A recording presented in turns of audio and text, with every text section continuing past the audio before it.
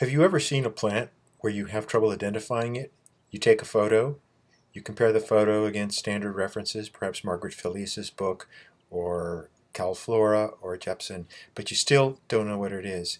The natural thing is to ask a friend.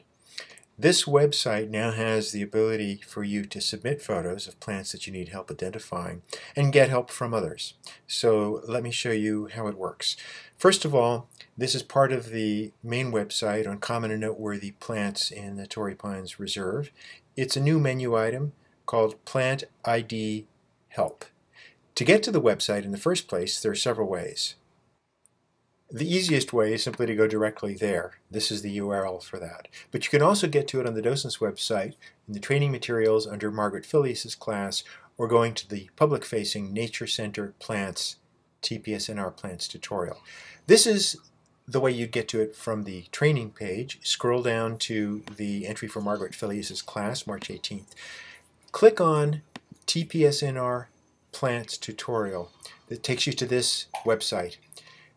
Look over to Plant ID Help. There are two items. Plant ID Help is the one you go to to submit a photo. So let's click on that. This is what that page looks like. It's got directions, guidelines about how to submit a photo you type in your name, you answer how much one and one is in order to prevent spam, and then you upload your file. But you have to be logged in or registered with the website to use it. So even though the website itself, you can view all the content without having a login. To submit stuff, you need to register. Click on that register button, takes you to the login page. You don't have a login, you click on register and it takes you here. Provide a username that you make up, provide your email, and then click on register. That will then send some email to you and help you complete the process. Once you've done that, you can then go to the page we were just at, or here's a mystery plants page, also in that tab, that shows you plants that other people have submitted. If you think you know what it is, you can click on the reply, and here's one person's answer. It looks like California figwort to me. It's good to give an explanation of why, what it is that makes you think it is that plant, and of course other people can weigh in later. That's pretty much it.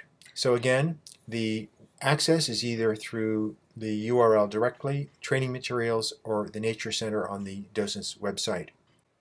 One final thing.